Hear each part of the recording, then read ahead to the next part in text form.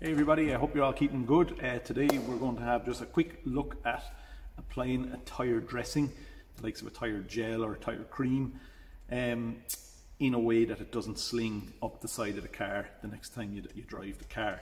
So it's a common, it's a lot more common problem that you think. A lot of people don't like using gels or creams or that type of tyre dressing for the very reason that it does tend to sling up the side of the car. So what I'm going to do is a very quick video on how to apply that dressing correctly so that you don't get that sling up the side of the car. So the first thing we're going to look at is um, the tyre itself. So you can see this is the, the part that you're going to put your tyre dressing on. Um, and when it comes to getting sling um, up the side of the car, the main problem part are these grooves here on the tyre. So the this part of the actual flat sidewall say of the tire you can generally put the dressing onto that part of the tire and not have any issues whatsoever with sling once you don't absolutely cake it on once you put a nice light layer a nice light even layer on that part of the tire where you run into problems is when the dressing gets caught in the grooves of this. Now to get a nice looking sidewall you generally do need to get dressing to as far as you can see so you're probably going to want to put dressing onto maybe up that far on the tire so it is very easy to get dressing stuck in these parts. And I'll just do a quick demonstration and show you now how that happens. So uh, this is the dressing that I'm applying today. It's ADBL tire dressing. So it's a it's a gel like um, dressing um, from ADBL and I use generally what I use is just one of these um, foam sponges to apply the dressing. So let's just give it a quick application. And what we'll do then we'll zoom in and show you the downfalls then. So we've put our dressing on. You can see it is a, a nice gel elastic gel. So I'm just going to apply it. And as, as tidy as you can try to be with it. So I'm just doing it mainly on the sidewall of the tire there and I'm going to just again like that part that I said that you want to because it's visible you want to have the tire looking good the whole way around. So that's the dressing applied. Now let's have a closer look and see how this is now going to sling. So you can see the sidewall here is nice and blackened and it blackened into where you know the, you can see with the eye. But in those grooves that I was talking about you can see little builds up little build ups of the gel in those grooves. So the minute you drive this car out the road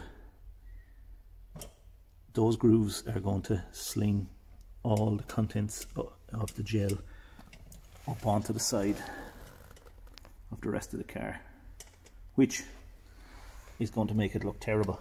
Um, so just say for example a customer collects this car and after dressing his tyres the paintwork is polished and ceramic coated um, but by the time the customer gets this car home we have sling up the side of it. And the problem with these dressings because it's a gel any dust and dirt um, you come across while you're driving really sticks to the gel on the car. While it normally wouldn't stick to the side of the car in general, when there's a, a wet gel on the surface, then it shows up even twice as bad.